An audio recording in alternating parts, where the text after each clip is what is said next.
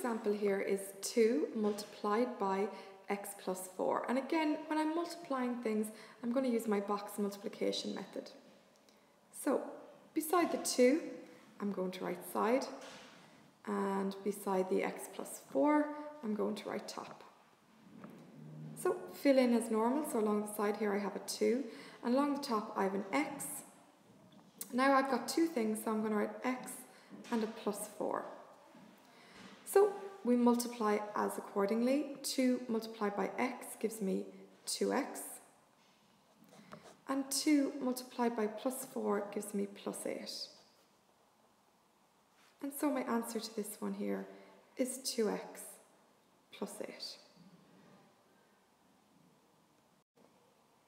Example 2, 3y multiplied by 2y minus 4.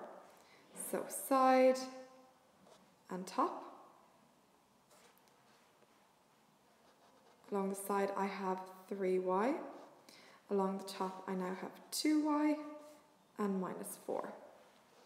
So 3 by 2 gives me 6. y multiplied by y gives me y squared. 3 multiplied by minus 4, so I've got a plus by a minus, that's going to give me a minus.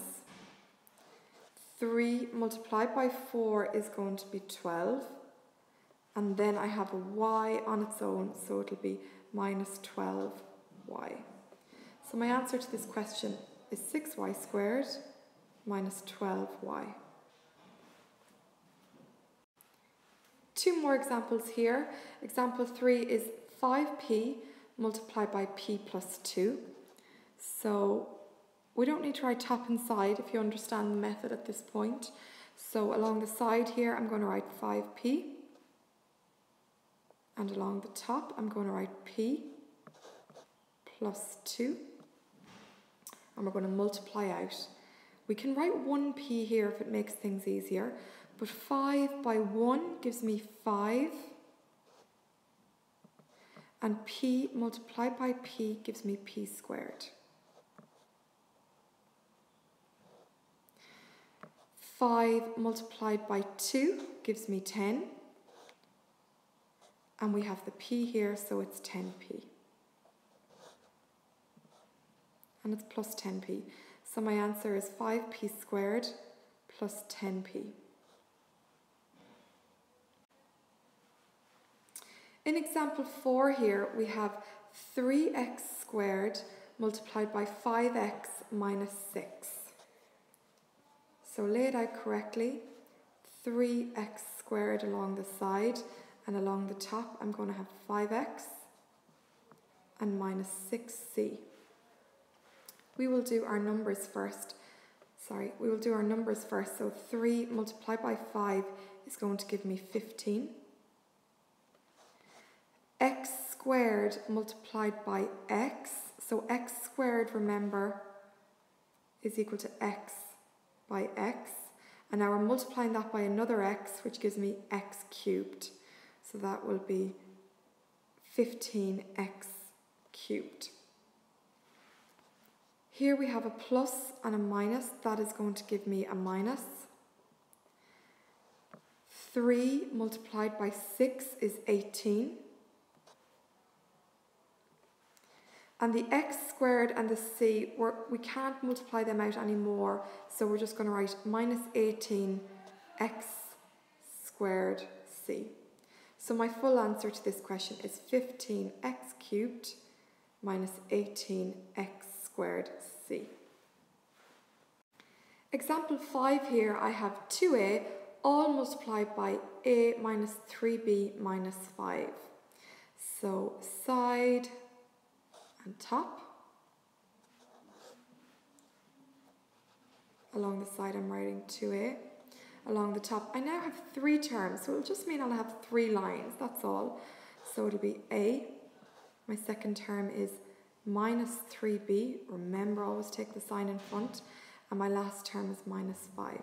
So we got to watch our signs here and just be very careful. So 2a times a, and I can write 1a there if that helps 2a times 1a gives me two ones are 2 and a multiplied by a gives me a squared.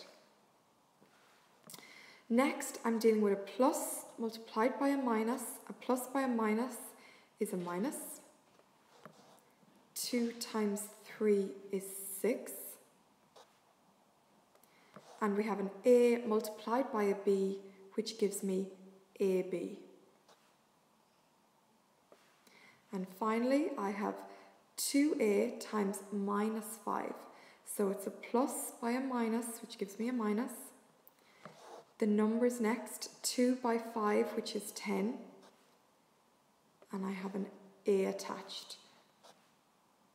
So my full answer to this question is 2a squared minus 6ab minus 10a.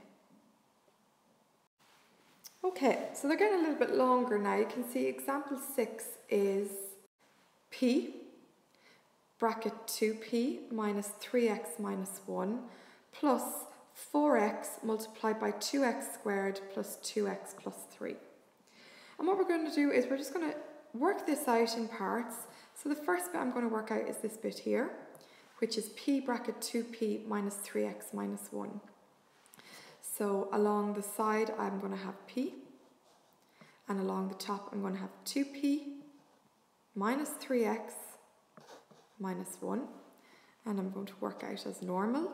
So p multiplied by 2p, or 1p multiplied by 2p, will give me 2p squared. A plus by a minus gives me a minus, and p multiplied by 3x is just going to give me 3px. And I have a plus by a minus, which is going to give me a minus. And p by 1 is going to give me 1p or p. So that's the first bit, and now I'm going to work out the second bit over here, which is plus 4x bracket 2x squared plus 2x plus 3. So again, we lay it out. Along the side, I'm going to write 4x. Along the top, 2x squared plus 2x plus 3. So numbers first, 4 multiplied by 2 gives me 8. Now I have an x multiplied by an x squared, and hopefully we've realised x by x squared is x cubed now, and it's just a good one to remember. Next we have a plus by a plus, so it's going to be a plus. 4 by 2 is 8, and an x multiplied by an x is x squared. And then the last one, we have 4 multiplied by 3, which is 12, plus 12, and we still have the x, so it's plus 12x. So my answer for all of this is 2p squared minus 3px minus p plus 8x cubed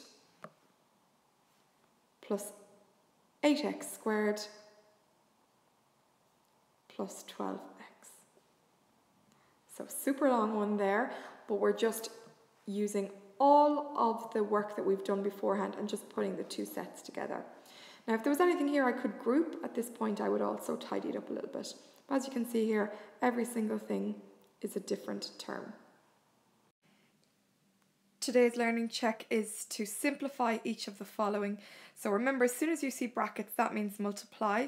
So it's 3 multiplied by 3x, 3y multiplied by 9, 4y by 3y, 4xy by 3xy, and minus 3x multiplied by 4.